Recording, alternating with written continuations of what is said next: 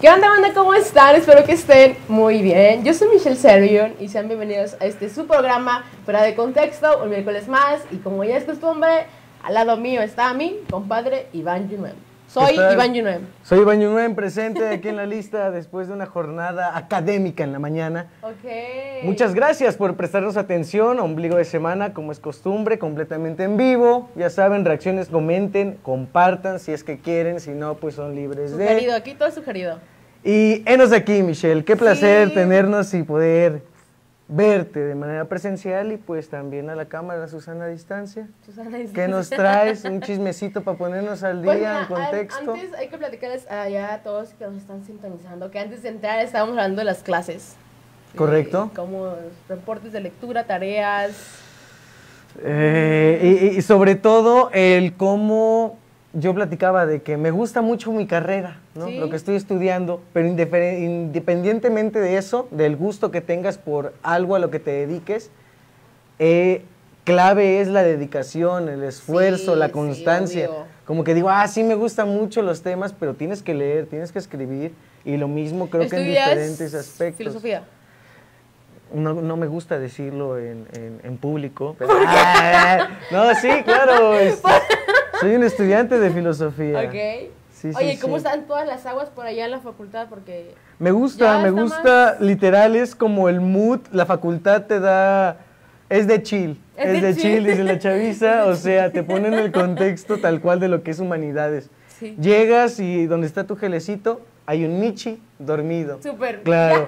Vas para el salón, está un viejo que viajó por su, este por Sudáfrica, no sé qué, que te vende café y cada vez que le compras tu café te avienta un choro súper interesante. De su viaje. Enfrente otro señor que igual es del norte, este que estudió ahí en la facultad y vende libros, o sea, es todo un trip, y toda una comunidad, todo un ambiente en el que O sea, llega a sentir que en es el que es, exacto. ¿Tú cómo te sientes referente a, a- a la bienvenidez o no de tu ambiente estudiantil? Pues bien, fíjate que a mí sí me gusta también mi carrera, aunque a veces es como de, ay, ¿por qué estoy viendo esto, no? Pero me acuerdo que tuve, tu- tuve una materia que era de, de empresas Ah, y yo así como, ¿esto qué tiene que ver con, con el periodismo, no? Pero Sí, dije, sí. bueno, está bien, no voy a... No voy a decir nada y me la voy a llevar tranqui. no voy a cuestionar Voy a el... el- presumirte, saqué 10 en la materia. Sí. ¿Qué, qué materia? La de empresas, este, algo así de empresas de estadísticas, no, no ay, no me acuerdo. Ok. algo así de empresas. Y ya, entonces, pero sí me gusta. Fíjate que algo que no me gusta son los reportes de lectura. Ya, ay, Dios mío. Mm. Esos son mis exámenes en sí, reportes de lectura. Me mandan a leer de tarea y pues los exámenes son de escribir. Pero ya que andas muy numérica, muy de que, ay, soy de 10, te presumo. ¿Ok? Yo, en el último reporte de lectura, eh, audiencia, por favor, ahí sí pueden comentar ahí de que su admiración. Ok, Ah, a bienvenida, ver. bienvenida. A Cuenta su voto. A nuestro conductor Iván. Eh, que saco 7. Y yo dije, wow, qué buena onda, saqué 7, súper chido, y de examen sorpresa. Y resulta que era 7, era el número de aciertos, no era la calificación. Y eran 25 aciertos. no mames. Entonces, O sea, genial. saqué como, como 4, ¿sabes? O tal No vez 3, manches. ni hablar. ¿Y cómo te sentís? Oye, ¿qué onda Eh, con eso? Pero, una pausa. O sea, estuvo chido porque mientras le tomé foto y dije, "Mm, ya ven, tengo 7 en mi primer examen, pero eran "Oye, 7 eran siete aciertos. aciertos". Creo que la, la, la universidad es una etapa muy chida que creo que todos los adolescentes y todos queremos vivirla, ¿no? ¿No crees? ¿Tú sí Eh, querías eh, vivir la universidad? Sí, pero igual y como que después yo me di mi año sabático. Sí, sí, yo o tal vez año y medio. Pero pues sí, darme, años. eh, pues darme el break, ¿no? De, de conocer un poquito qué había afuera, cómo se movían las cosas, andar aquí explorando. Y, Sí. y parece que no, pero en el trabajo que tenemos aquí con el medio, eh, revista Perfil Veracruz, la revista más leída del estado. Ya tenía rato que no aventaba el ver, comercial. ¿en qué los ámbitos? eh, político, social y empresarial. La información completa en perfilveracruz.com. Ok, ya extrañábamos ese ese eslogan, ese spot. Muchas gracias. Pero en este programa ya de hoy tenemos dos invitados, esperemos que sí, porque quería mandarle una disculpa a la chica de los aros, pero mi celular tiene una falla y no suena las notificaciones. A mí me dijiste, no, Entonces- no le voy a contestar. No, no es cierto. Entonces apenas acabo de ver su mensaje hace unos cuantos minutos, pero esperamos que sí llegue. Esta chica la tuvimos en nuestro primer programa, a la chica de los aros. No te creo. Fue en el segundo, creo que sí. Fue en el primero, lo Sí. recuerdo muy bien. Y no solamente fue en el primer programa, fue la primera entrevistada. Ella fue la Tal primera, cual. es cierto. De, uff, deberíamos de contarlo, ¿saben? Sí, en el- yo Eh, creo que el siguiente programa vamos a hacer eso. Pero igual y no, tal vez no cuantificar los programas eh, según las emisiones, sino los invitados, porque hemos tenido programas de tres invitados, de cuatro, Una vez tuvimos cuatro. de ninguno. Ah, bueno, el pasado fue El ninguno. pasado no tuvimos Creo que como dos hemos tenido que no hemos tenido, pero sí. Pero lo- la chamba sale. Oye, oye, oye. Y también nos está acompañando Memo Opina. Este, oigan, yo quiero contarles una anécdota que la tercera siempre es la vencida y yo estoy testigo. Pero hoy nos está acompañando aquí en, en Fuera de Contexto. Mm. Este, y bueno, creo que estoy muy emocionada de estar aquí otra vez en el estudio de Fuera de Contexto. Y sobre todo compartir eh, la opinión tal cual, poder escuchar la, la postura de muchos de los que están intentando este, crecer, desarrollarse y dedicarse a las redes sociales. Sí, yo, yo me apunto ahí en la lista. Estoy, estoy de acuerdo. Eh, sin más, ¿estás de acuerdo que pasemos nosotros a comentar el espacio que vamos a tener, los Vámonos temas? Y regresamos. Órale, pues continuamos, eh, no se vayan audiencia, vamos, continuamos, regresamos y así, y así. Vámonos.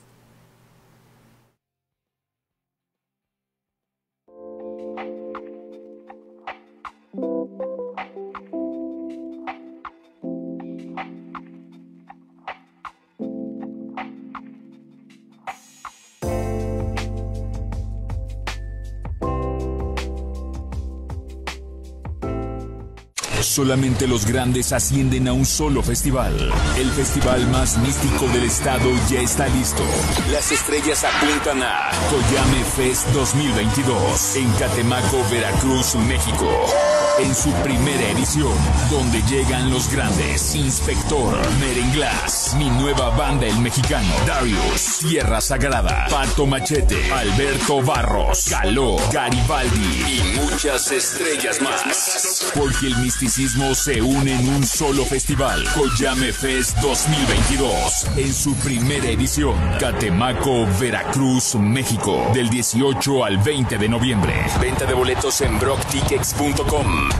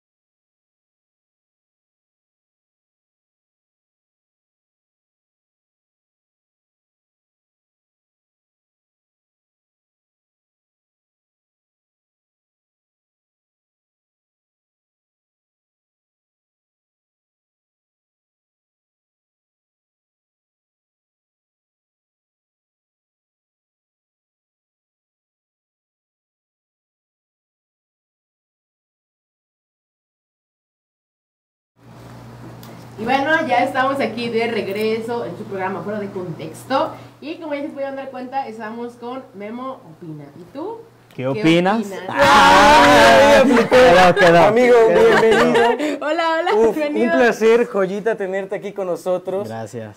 Que la invitación ya había estado Sí, agendada. nada más no cuadrábamos. La primera vez llovió, se les fue la luz. Sí, después me enfermé. Siempre había como que algo chocaba. Pero bueno, ya aquí estamos. Y bueno, agradecerles por la invitación y conocerlos en persona, porque no nos conocíamos en persona, No, ¿va? definitivamente Gusto, no, no. no, Yo no, siempre lo veía en, Instagram en sus historias y dice, "Ay, ¿tú qué opinas? Y yo tengo que tenerlo en fuera de contexto, sí o sí. Y, bueno, Y aquí estamos. Aquí estamos. Eh, No, ahora, esta, este, me gustó que comenzáramos con el ¿tú qué opinas? Porque ya es algo, un, tu eslogan, Sí. ¿sabes? Algo Eso es característico Opina, ya. de tu nombre como marca, podríamos Sí, decir. ándale. Eh, ¿Estás de acuerdo? Sí. Hasta ahí vamos bien. vamos Sí, Vamos bien, no te has equivocado. Pero, ¿cómo podrías entonces tú describir tu trabajo ya in- eh, influenciando, difundiendo, compartiendo tu trabajo? Pues, ¿De qué va? Pues yo ahorita podría decir que es creador de contenido, principalmente Instagram, eh, Instagramer le mencionan por allá. Ya no me gusta que me presenten como youtuber, aunque inicié como youtuber, eh, ahí fue donde yo empecé a hacer videos, me di a conocer aquí en Jalapa, porque pues al final no me creo aquí famoso, desde ahorita lo aclaro. Soy, localmente aquí en Jalapa sí me ubica la gente, aquí sí me, que me piden foto y así, pero mi contenido siempre ha sido de aquí, entonces yo ahorita me considero Instagramer porque ya me estanqué ahí, me gustó más que YouTube y pues ahorita es donde me, me encuentran ahí 24/7 subiendo historias, recomendando negocios de todo tipo, principalmente de aquí de Jalapa. Ok, ok. Es que sí, es verdad todo este caos de las redes sociales y cada vez de contenido. Como que uno que se va adaptando a la que, en la que más te gusta, ¿no? Sí, definitivamente. O en la que más te funciona. Sí, como que la que más jales, ¿no? Sí, también, también. Pero entonces cuando tú pasaste ahorita en donde ya te sientes más cómodo, que es Instagram, tú ya tenías una audiencia que Sí, siguió. pero fíjate que me costó porque como no avisé, no, no hubo una despedida en YouTube, no es como que los hayan citado a que se vayan, vayan a seguirme a Instagram o a TikTok o a cualquier otra Estamos plataforma. hablando de hace cuánto tiempo. Por De lo de YouTube, yo creo que lo, lo dejé un poquito más de un año. De que lo dejé ya sin subir ningún video. Ok. Subí un último video que grabé en Orizaba, visitando los mejores lugares para comer en Orizaba. Y según en ese video yo juré de que ya ahora sí voy a retomar el canal. Y quedaron los Y suscriptores. ese fue el último video hace un año. Sí, los quedaron todos los videos. Ah, bueno. Sí, ya ni para regresar, ¿no? Para Sí, ya por ya. mención. ¿Sabes? Este güey nada más dice y no regresa. Entonces, esa fue como la, la experiencia de, de en ese momento. Pasó pandemia y de ahí me fui a Instagram, se puso de moda. Eh, como todos los emprendedores, todos los negocios cerraron, todos se fueron a hacer su cuenta de Instagram para vender a Instagram. domicilio. Me empezaron a buscar para colaborar, pero pues en Instagram. Ya. YouTube no.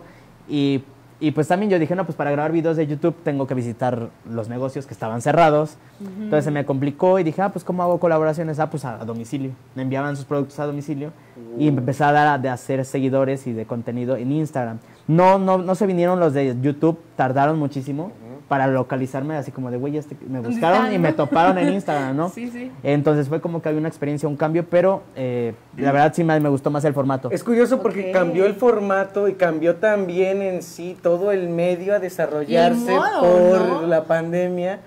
Eh, no sé qué tan complicado fue para ti el- este nuevo Eh, tipo de colaboraciones, adaptarse. ¿sabes? Ajá. Pues sí fue costoso porque yo estaba acostumbrado a como a, esta, a grabarme con una cámara profesional, a que alguien me estuviera grabando, a yo hablar, a ponerme acá el micrófono y todo, a, a agarrar un celular y ahora grabarme Así, así, ¿no? y ahora decir algo en 15 segundos para Súper las rápido. historias. Y cuando acá te puedes desplayar un poquito, hablas más tranquilo, puedes editar y cortar, en mi caso para los videos de YouTube, porque bueno, pues aquí es en vivo, es diferente, aquí lo que dices ya Ay, se ya se queda.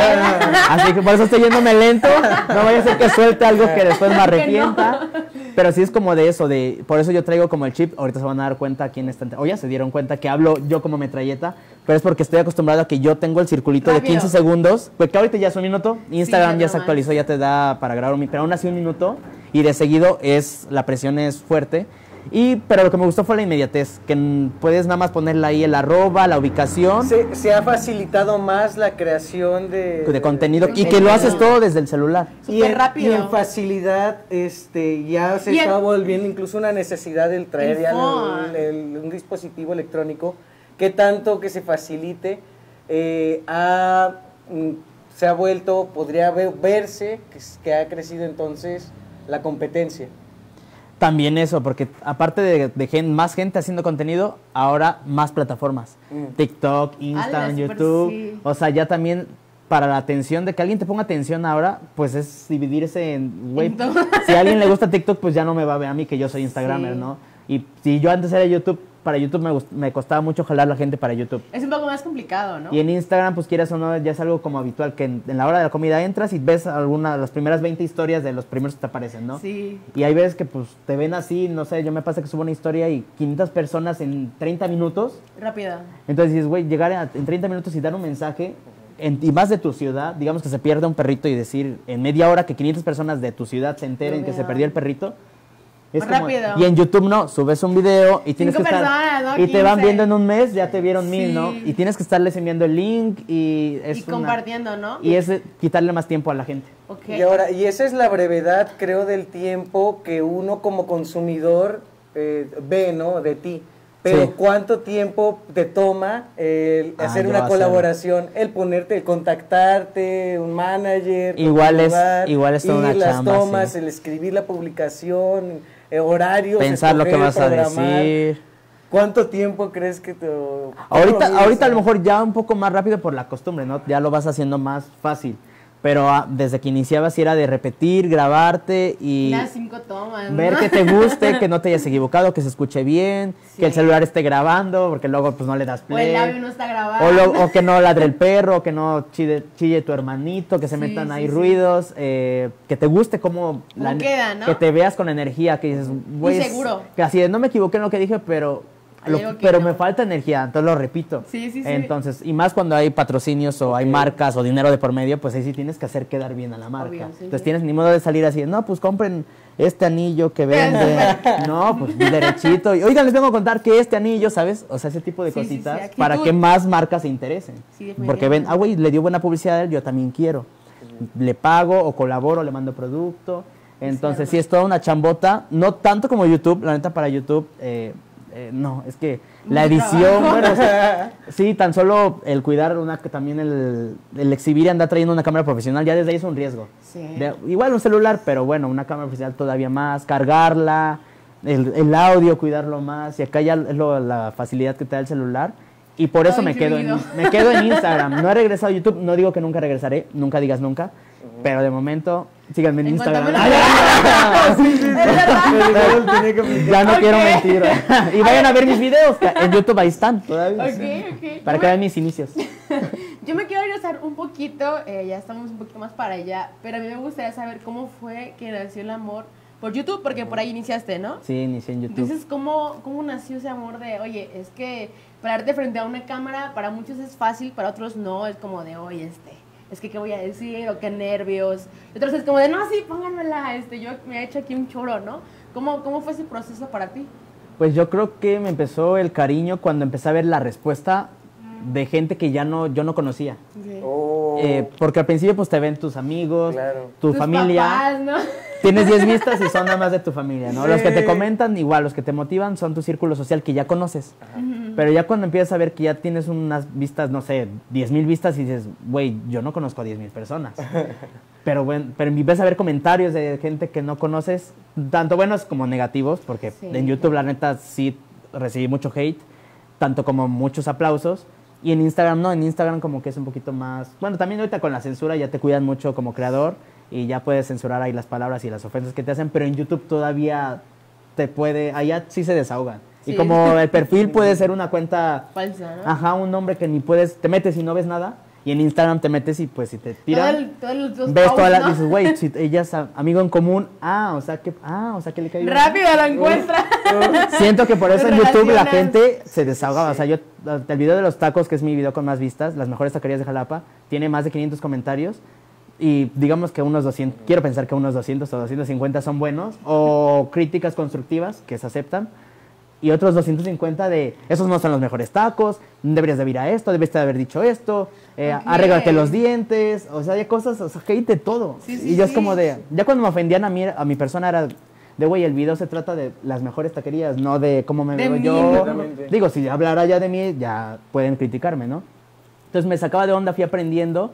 Eh, pero yo creo que le agarré el cariño a eso, a la exhibición que te da la plataforma de YouTube. De hecho, pues muchos nacen de allá y se terminan yendo. Y ahorita son TikTokers y otra onda. Por eso yo sí recomiendo YouTube, nada más a- eh, advierto que es una chambota. Y más si quieres dar un producto de calidad. O sea, que neta quieres música de fondo, bien editado, grabado con una buena calidad. Que era lo que yo trataba de ofrecer. A eso me refiero porque pues cualquiera ahorita yo grabo un video, video directo, o incluso el que estamos aquí, ¿no? Y, lo, y lo subimos así como queda. Cualquiera lo puede hacer. Pero el problema es que hay que dar ahorita calidad para tener mayor impacto y ganarle a toda la competencia que hay ahorita de creadores de contenido. Entonces, creo que a partir de ahí le empecé a agarrar el cariño. Ver la respuesta de la gente, que fue más la positiva que la negativa.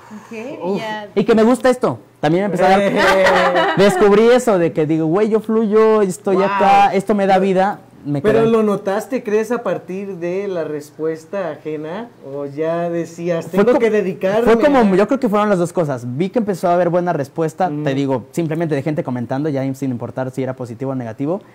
Y yo empezar a ver que, me- que el hablarle frente a una cámara me daba vida, me despierta, yo grabarme. Hay días que hay veces que no grabo nada y como que me siento apagado, como, Como fue- "Uy, me como, algo". como que me estoy enfermando. Y, y quieras o no, pues cuando platicas con alguien, como ahorita que lo estamos haciendo, pues te desahogas, o sea, es- cargas tu energía positiva o negativa. Y entonces yo grabarme una historia de acá hablando, aunque a lo mejor estoy hablando a lo loco pareciera, pero el saber que todavía va a haber gente que lo va a ver y que todavía te va a responder. responder. y que, güey, yo, a mí también me pasó lo mismo, justo pasé por ahí. Sí, Yo me siento más siempre acompañado, aunque casi siempre estoy solo. Es Ok. curioso eso de al comentar, como lo, lo ejemplificas como una descarga de energía Sí. que puede ser positiva o negativa, y nadie te enseña en sí a, a cómo recibir o cómo tomar cierta crítica Sí. ajena. Y una cosa es de que ya sabrás qué tanto le haces caso a los comentarios buenos o malos, pero la crítica o el juez más duro muchas veces es uno mismo. Sí. ¿Qué tanto viene también esta parte, pues, hasta cierto punto, conflictiva de redes sociales en los números, en que se te está cuantificando quién te está viendo, cuánto tiempo te están viendo, ya bajé, ya, Ya. llevo menos, eh, Sí. estoy desinteresando, es- se está desvalorizando O mi está trabajo, creciendo, ¿por o qué? lo O contrario, pega ¿qué más esto y esto no tanto. Sí, totalmente de acuerdo. Sí, es como de aprender. A mí la experiencia me hizo aprender esto de ya no hacer caso de lo que me digan. De hecho, pues yo me pinto el pelo, me pinto las uñas, me hago cosas en el rostro y cosas. Y lo muestro. Y ya, pero yo creo que a mi yo de antes, de mis inicios, lo hubiera pensado mil veces y yo creo que me hubiera ido a mejor no hacerlo. Ok. Pero ya con la seguridad que fui agarrando de la crítica, pues de hecho una de las críticas que siempre cuento cuando me preguntan es de que me, me criticaban porque tenía un diente eh, chueco de los de principales. Entonces al hablar, primero arréglate los dientes antes de grabar videos. Entonces pues me pusieron, al poco tiempo me pusieron brackets. Entonces ya fue como que yo fui aprendiendo a no hacer tanto caso, pero sí, obviamente sí me dolían los comentarios al principio. Me fui haciendo fuerte, la experiencia ahorita ya la tengo. Por eso tengo la seguridad que ahorita me vale. Yo si muestro lo que puedo. Cuido a veces en no decir ciertas cosas que se puedan malinterpretar. Y en cuanto a lo de las vistas, la verdad me trato de no ver. Yo enfocarme en grabar. Ok. Calidad, eso sí. Tampoco porque ¿Cómo quedó, no? Ajá. no estar de, de que hoy nada, más, hoy nada más me vieron 200 personas, ¿no? Y tengo 10 mil seguidores, por así decirlo, ¿no? Y que nada más me digo, güey, ¿qué estoy haciendo mal? No, yo contenido. Mientras yo veo que estoy haciéndolo bien, va. Creo que también no hay que poner ta- tan- tanta atención porque ahorita, pues entre tanta competencia, no nada más existes tú. Súper sí. Si sí fuera así, si sí fuera así, preocúpate, algo estás haciendo mal. Pero ahorita Sí. todo mundo se puede grabar y todo mundo hace un TikTok, así sea tu mamá que tiene 10 seguidores, pero ya hizo un TikTok y quieras o no ya te robó tantita atención en la plataforma. Sí, sí, sí. Entonces, también hay que tener los pies en la tierra y hacerlo porque te gusta. Ok, me gusta eso. Oye, me gusta, eh, no puedo dejar cuando te vuelva a ver. ¿Qué? Yo dije, ¿qué? El, el flow, Tengo unos, un mosquito ahí la mosca que traes ahí. Córtenme. Así de... ¿De qué? No, el flow, el flow que traes acá. Gracias, gracias. Oye, y- pero para ese- estas reflexiones o ya puntos de vista construidos que siento que ya has hecho en base a tu experiencia, ¿cuánto tiempo tiene de cuando publicaste el primer video en YouTube, que fue donde empezaste, ahorita, bro? Pues yo creo que tiran cuatro o cinco años. Cuatro o cinco Que años. no ¿Y ven- ¿Cuánto tiempo pasó al primer, al, el primer video que se viralizó, que dijiste, y de aquí... Puede que ya haya algo, ya tengo algo. Fíjate- que consolidaste una audiencia. Fíjate que yo creo mucho. que me enganché ahí porque no, no pasó mucho. De hecho, creo que mi segundo o tercer video que subí por una cápsula que nos pidieron hacer en la universidad, que ese te digo es el de los mejores tacos de Jalapa, ese fue el que me... eh, YouTube lo empezó a recomendar, entonces empe- pues, tenía como 40 mil vistas y yo no tenía ni mil suscriptores. Entonces no me cuadraba de que digo, güey, ¿De dónde salieron Sí, yo, yo, no? yo no lo estoy compa ¿Cómo se lo voy a compartir a 40 mil personas? Entonces ya después me mandaban screenshot que YouTube lo ponía, o sea, abrías YouTube y ya ves que te aparecen como dos o tres videos que Ah, te sugiere. Sí, sí. Como decía Jalapa, como que los sugería a personas de Jalapa que les podría interesar ese video. Ah, Como ok. no había youtubers de Jalapa, bueno, de hecho hasta la fecha no hay haciendo contenido de Jalapa. Bueno, youtubers sí hay. Lo que no hay es youtubers haciendo contenido de Jalapa. Ok. Entonces, rápido lo, lo recomendó con el algoritmo de la localización y varios de, güey, mira, YouTube me acaba de recomendar tu video. Y me mandaban screenshots digo, güey, qué chido, con razón está teniendo vistas. Sí. Y la gente veía, pues yo valía, a mí, a mí nadie, nadie me topaba, ¿no? Pero veían el nombre de taquerías, las mejores taquerías de Jalapa, por chismoso le picaban. Evidentemente de las 40 mil vistas, no, no era que todos se suscribían. Pero sí veía cómo crecía de 500, 600 suscriptores, a lo mejor de, de 10 mil vistas que tenía, ¿no? Sí, sí. Pero pues para, digo, uy, está- se están interesando. Entonces ya me fui conectando, pero sí, no pasó mucho. Según yo fui como el segundo o tercer video. Y fue sin querer, yo lo subí, Memo Pina todavía no existía. Ok. O sea, era algo como que ahí medio que se quería, quería armar, pero pegó y yo creo que como vi que funcionó, ya fue que le di más formalidad a los, a los últimos videos que ya ahí sí había, hay una producción grande detrás. Ya, Ya, cuando, ya con producción, ya con inversión, ya es de que esto es una profesión, ya me voy a dedicar a... Sí, el editor ya, se, ya le echaba, ya era una edición buena, aunque estábamos aprendiendo, yo igual hablando, eh, no digo que ahorita lo hago perfectamente, pero en ese entonces yo me veo y digo, Ya soy otro. Claro. de- en el- mi forma de pararme, mo- de moverme, de expresarme, Sí. la actitud, hay muchas cosas que me corre- corregiría, pero incluso mi amigo se- en ese entonces se compró, cuando apenas estaba iniciando el 4K, se acaba Ok. de comprar una cámara, eh, entonces la estrenó con mis videos. Entonces dejamos de hacerlo porque era una, exportar en 4K es una chambota y ponías a trabajar mucho a la computadora. Entonces lo dejamos de hacer porque casi nadie tenía 4K. O sea, ¿en qué reproducir 4K? Ahorita ya to- todas las pantallas lo traen y ya es algo nuevo, en los celulares también. Pero en ese entonces que iniciamos, nada más lo que hicimos como para probar. Pero eso me refiero en producción, o sea, que tratamos de darle lo mejor de lo que sabíamos y estaba a nuestro alcance. Y, pero te digo, al darnos cuenta que exigía mucho, no había una paga de regreso, aunque sí estaba monetizado mi canal, pues las vistas que tuvo nunca fue como que digas, ah, nos vivimos de esto, le pago a mi camarógrafo, a manager, a, a mí mismo, o para lo mínimo para transportarme. Entonces era de no vemos, y ya empezamos a salir a la universidad y dijimos, tenemos que generar algo. Entonces ya se rompió también, eso fue una parte de, de lo del canal de YouTube, cada quien agarró su rumbo. Y pasó lo después de la pandemia, y me orilló a Instagram, y que al final no fue algo malo. Bueno, al principio sí era como de, güey, ¿qué hago? Pero ya al Sí. final ahorita lo estoy viendo de que fue una buena decisión, porque conocí Instagram. Yo Instagram lo tenía, pero ni lo pelaba. Yo nada más subía a YouTube. Bueno, grababa una historia para mis 200 amigos que me seguían. Oigan, ya subí un nuevo video, vayan a a verlo. verlo. Sí, sí, sí. Típico link. youtuber y con 200 seguidores, ¿no? Pero ya cuando me pasó, me pasé Instagram, ya empecé a llegar a gente igual lo mismo que YouTube, que con gente que yo no, yo no conocía. Ok. Y ya ¿Sientes que casi a siempre crecer. tuviste la certeza de que le ibas a hacer? Mm, Pues no. solo pasó y fue como de, güey, No. estoy aquí. Hubo no, no, mucho no. momento que No, sí no, viste, no. siempre fue de que Sí, siempre fue de... Y mis amigos y me castraban de, güey, no manches, o sea, eh, el youtuber y pinches 10 vistas, ¿no? o sea, Sí, por sí, castrocillos, sí. castrocillos. Y yo también digo, güey, sí, la neta, yo haciendo ahí, matándome y tratando de hacer... Digo, pues hacía videos pichurrientos, pues, pues con razón nadie me ve, ¿no?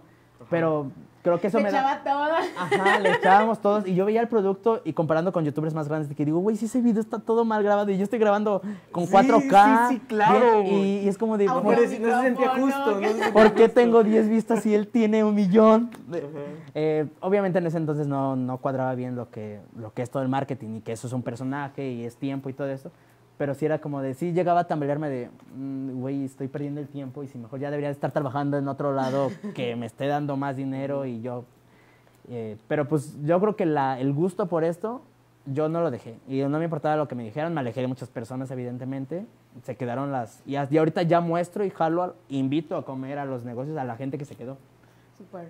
van y me dicen, "Y- y ahorita ya todos quieren estar porque saben que pues yo me la vivo de negocios, de comiendo y comiendo y comiendo. ¿Y quién no quiere comida, güey? No, gratis, claro. y gratis, y No, gratis. sea, viste en el punto que Jalapa es de que... de No, comida, hombre. gastronomía, En Jalapa negocios. no sabes ni dónde ir, de tanto que hay. También eso me ayudó mucho, que por estoy en una, vivir en una ciudad donde todos los días nace un negocio nuevo Súper y sí. principalmente De de, saqué comida. un café aquí, se un restaurante aquí. un A mí me de caen invitaciones aquí. de todo tipo de negocios, entonces ya, ya tengo hasta que segmentar de, no, pues a este sí porque me conviene, o este se ve más rico.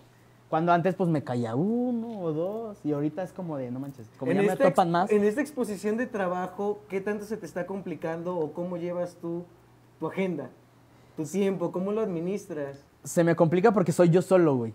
Mucha gente piensa que traigo una producción atrás sí, de sí, yo gente pregunto, sí. Y no. ¿Cómo se llama tu tercer asistente? Ah, ah. Toda la gente que está aquí. ay, no hay nadie, no hay nadie. Este, soy, soy, yo hago todo. Yo me organizo, yo me contacto, yo respondo, yo checo fechas y se me complica porque pues a veces necesito a alguien que suba las historias. Yo tengo luego, de hecho ahorita tengo acumuladas Toda mi historias galería, ¿no? Llena de de historias. historias de que estuve grabando del transcurso de hace rato, pero como no tengo tiempos muertos para poder subir esas historias, pues ahí, ahí necesitaría alguien que, ahora sí que yo grabo una aquí, digamos aquí, y se la pasa aquí a alguien que la, que la edite y la suba.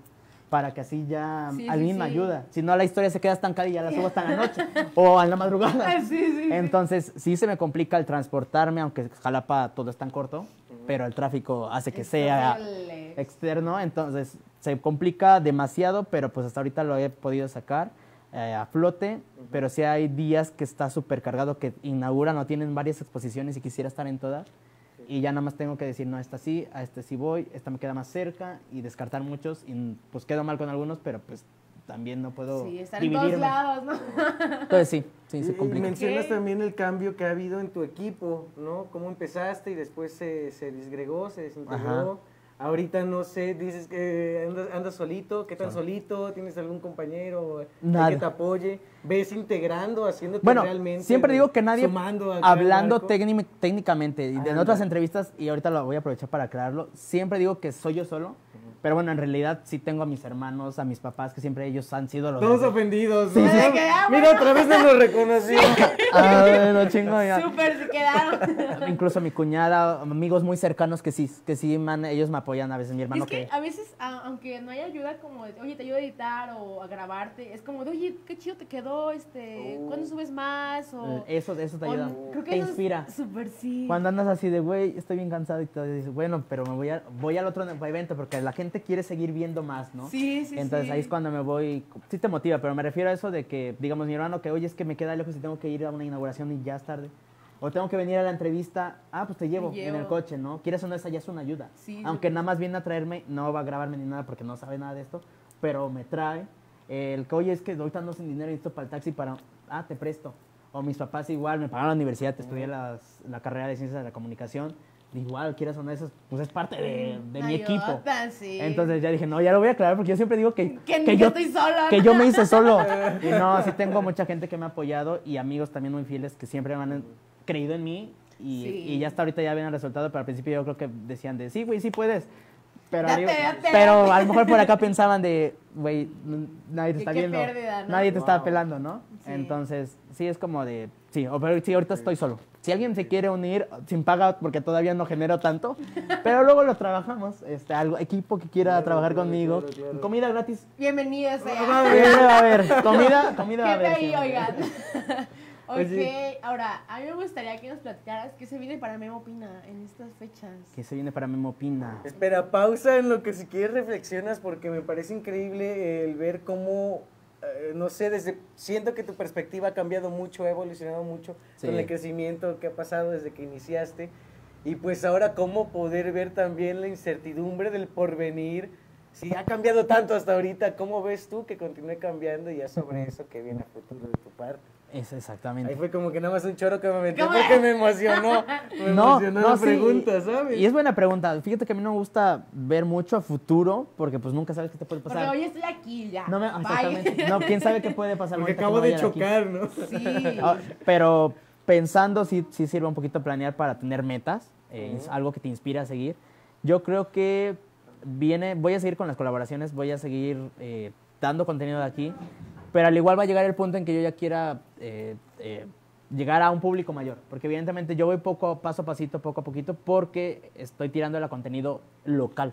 Jalapa es pequeño, entonces ya para ser un gran youtuber, un gran creador de contenido y ya llegar a otros estados, que te reconozcan en otros lugares, ya se- hay que hacer un contenido ya que les interesa a todos, no nada más lugares de Jalapa, porque subo un, recomendando una hamburguesa de Jalapa, pues a la gente de Jalapa sí le interesa, al igual de Veracruz y alrededores de Veracruz, que cuando vengan les interese. Pero ya más allá de Veracruz, ¿a quién le interesa que yo esté hablando de una hamburguesa de Jalapa? Que se ve, que se ve padrísima y riquísima. Pero no van a venir del lado otro lado. Entonces creo que tengo que pensar en eso eh, y seguir trabajando. La neta, lo que me gusta también mucho la publicidad y creo que por ahí, meterme bien de lleno a eso y, y no cerrarme las puertas. Ahora sí, a lo mejor jugar con otras plataformas. He querido meterme a TikTok nada más que no, el tiempo no me da. Porque no me gusta así como que nada más así grabar un video y subirlo. Y ya. O subir lo mismo que subo a Instagram. Entonces quisiera hacer algo para TikTok. Me gusta mucho bailar, eh, la fiesta, entonces es algo que va muy con esa, con esa Con aplicación. TikTok. Entonces como que podría jugar con esa. O alguna otra que se inventen y salga Ya. porque... Sí, sí, Pues ya, ya no la- sé, ya ni hay que estar al pendiente, ¿no? ¿Cuál escoger? Sí, porque si no te quedas atrasado, ya después las nuevas generaciones te dicen, no, pero TikTok ya, ya pasó. Ya de moda". pasó, ahora ¿Cómo? sí están Ya- nuevas. Ya estoy, gra- estoy grabando mi TikTok. Y baile. Como que ya no, no, ya se suben otras. Ah, ya no. Sí, sí. No me humillen en público. Ya. Entonces creo que sería adaptarse, pero lo que venga mientras deje dinero para, sí. poder, De para China. poder seguir creando. Ajá, pero sí.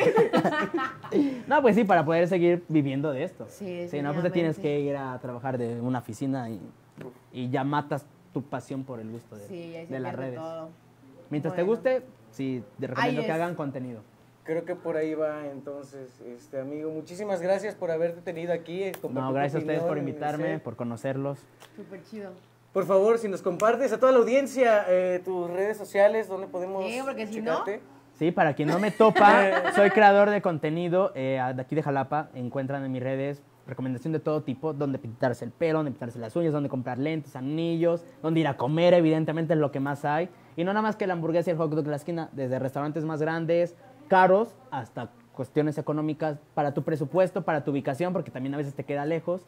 Y eh, Facebook, Memo Opina, Instagram, Memo Opina, es donde estoy ahorita actualizando 24/7, principalmente Instagram.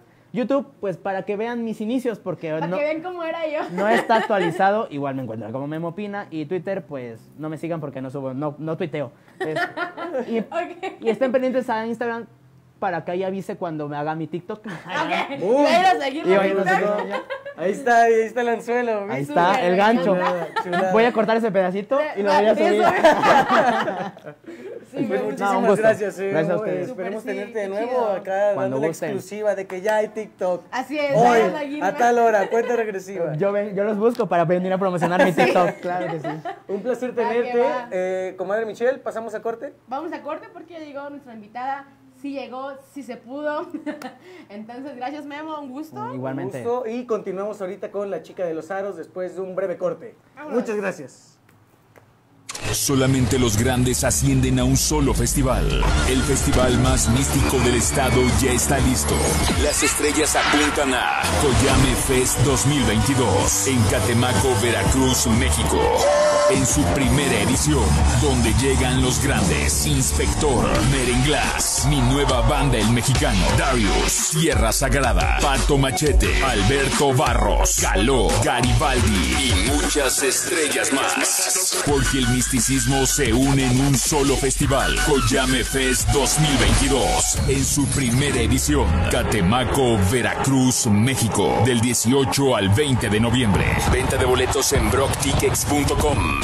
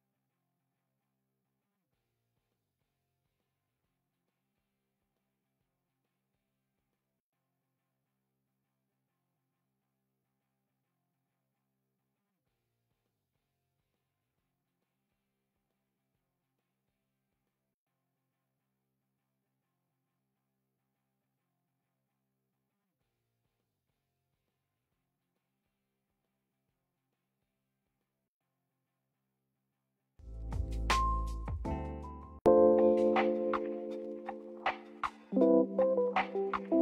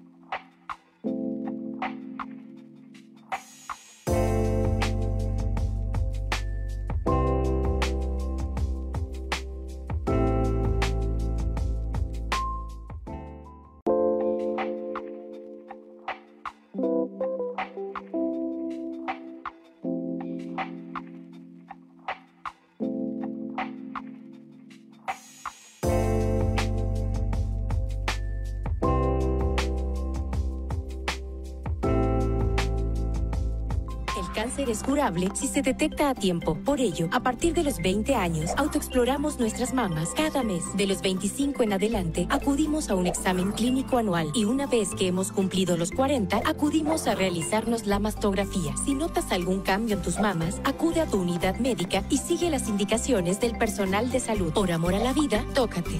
Contra cáncer de mama, observo, toco, siento.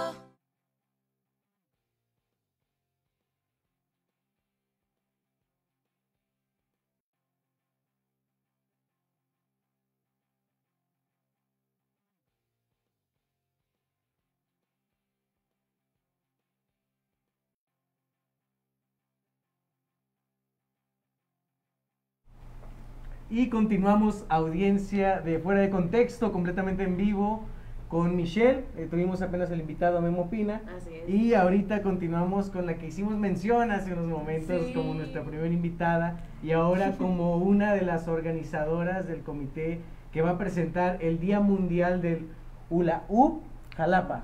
Ok. Correcto. Janine y Rodrigo, bienvenidos. ¿Cómo Hola, andan? ¿qué tal? muchachos, ¿Qué tal? Gracias, gracias por recibirnos. Gracias.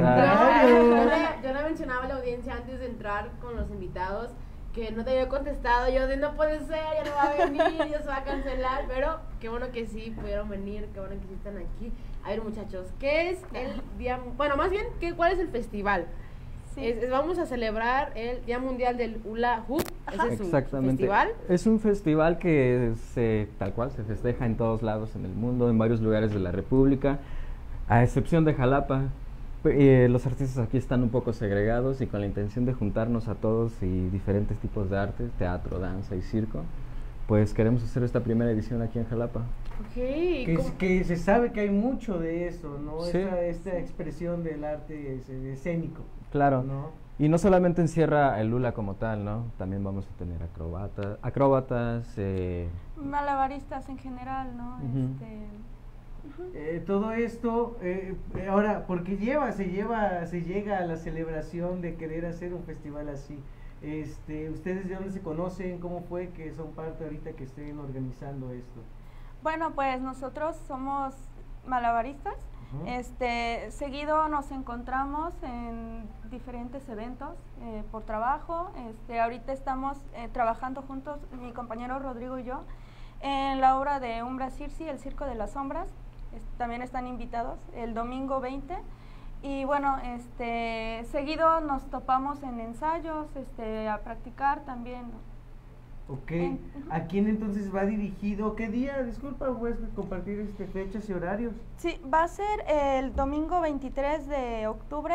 El lugar es un espacio multidisciplinario que se llama Bajo Carpa. Está en la calle Moctezuma número 52, Colonia Centro. Está a la paralela de Santos de Gollado. Este es un evento a- a- abierto a todo el público. No, ¿Hay cover? No, no, no, No. para nada. Es- público y gratuito, sin fines de lucro. sí. Amor al arte. Me Exactamente. amor al arte. La audiencia, toda la familia. Toda la familia, de hecho está invitado toda la familia porque va a haber una gala a las 8 de la noche. En estos días ya va a salir la cartelera con los horarios de los talleres, cada uno en cada hora, pero todos están invitados a la gala estelar, donde se van a presentar diferentes artistas de diferentes lugares. ¿Dónde comentas, dices que se va a presentar la cartelera, compadre? En la ¿En qué página oficial de, del evento que se llama Día Mundial del Hula Hoop Jalapa, tal cual, ese es el Ok. nombre. que- Así está en Face. Va. Así está en Perfecto. Face. Fácil de identificar. Para que no haya pierde. Exactamente. No, ahí para que salga Ahí y podamos checar como qué tipo de actividades va a haber. Ahí va a salir el horario Sí, oficial, de hecho, pero ahorita una estamos- premisa de invitación. Empieza a las la 12. audiencia. Exacto. Ok, 12 pm. No, empieza... Ah, puertas bueno, abren a las 12 y los talleres van a empezar después de la 1. Ok. Va a dividirse en bloques, cada bloque va a contener dos talleres simultáneamente. Va a ser para diferentes niveles, pero todo el público está invitado, aunque no seas cirquero, no tengas nada que ver con el arte, pero a lo mejor te interesa aprender, Aprender algo. un poquito, claro. ¿no? es eso, es eso, ¿no? Este, generar este, pues más público Claro. que esté interesado, que el arte circense llegue a todas partes, que sea para todo público. Este, vamos a tener ahí, hasta ahorita tenemos programados a seis talleristas, todos de diferentes disciplinas. También para la función estamos entre seis, siete este, invitados y pues sí es abierto a todo el público. No Eh, hay eh, es grande cover. para una primera edición. Sí. Es la primera, eh, Sí, oigan. Sí. ¿Cómo- ¿Cómo fue el proceso acá creativo de elaboración? Porque parece que fue, o sea, sí les tomó tiempo, o realmente fue de un día para otro, ¿cómo está? Digamos ¿Todavía que-? ¿O qué onda? Pues digamos que todo surge de la necesidad de juntarnos, ¿no? A generar más arte. Y la verdad es que no nos tomó mucho tiempo pensarlo. Bueno, yo dentro de mí, este, sí quería organizar algo así aquí en Jalapa, que es una ciudad con mucho arte, pero no lo había podido concretar hasta hace poco que platicando justamente en un ensayo aquí con mi amiga, pues le dije, ¿qué onda? Hay que hacer algo y así, y acá, acá y allá. Y pues dije, no, pues hay que empezarlo a hacer. Y empecé a hacer la página, los Convocar. flyers, a convocar. Otros, nuestros otros dos compañeros que no están ahorita con nosotros, eh, pues nos están ayudando también, ¿no? Uno de los chicos es el que lleva el espacio bajo carpa, a donde se va a efectuar. Roberto Apodaca. Lara. Y otra compañera que es Ángeles Alarcón, ella también este, es hula hopper, este, hacemos varias, manejamos varios este, objetos de malabares, pero pues principalmente ella y yo pues estamos más enfocadas en el hula hula. Este, entonces, pues sí, tenemos el interés, este, faltaba como organización y pues eso es de lo que se trata, de convocar este, a los artistas circenses de teatro, de danza también. Este, y pues queremos que este evento pues ya se, se haga todos los años en el mes de octubre. que- Ok, fíjense que Así ahorita es. que mencionaste lo de la convocatoria y también lo de tus demás compañeros, ¿cómo fue la respuesta de los demás que se dedican a lo mismo? O sea, si fue como de, ah, no, pues yo te apoyo con esto, con mi taller, o fue como de, no, ¿para qué hacerlo? ¿No? ¿Cómo fue esa respuesta en, eh, Justo ustedes vieron? es lo que estamos viendo, que hay muchas respuestas, hay muchos interesados y en general en la República hay muchos este, artistas circenses y unos sí nos dijeron, no, pues nos hubieran dicho con tiempo para venir yo, y compartir en la gala o un taller, ¿no? Organizarnos. Es lo que decimos, ¿no? O sea, ya para el siguiente año ya va a estar más este, Desde organizado vamos con a- tiempo, sí, a claro. Sí, sí, sí. Sí, y sí, queremos que sea un proyecto que pues crezca, ¿no? Que siga creciendo Se y que quedando. se quede ajá, Exacto, ya sí. todos los años. El Sí. primero de varios. Me sí, gusta. este, en el 2019, bueno, en la entrevista pasada creo que sí les platiqué de la circunvención de circo que hubo aquí. En Jalapa fue en la USB, fue un evento muy grande y pues vinieron varios artistas de nacionales e internacionales.